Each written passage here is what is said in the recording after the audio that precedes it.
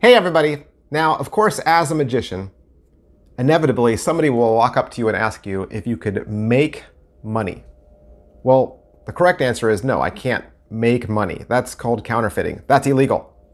But uh, what I could do is I could show you how a magician uh, can make fake money, right? I'll make some fake money and I'll use these uh, blank pieces of paper. They're all dollar bill shaped. They're all dollar bill sizes. And all I gotta do is give it a fold and a flick.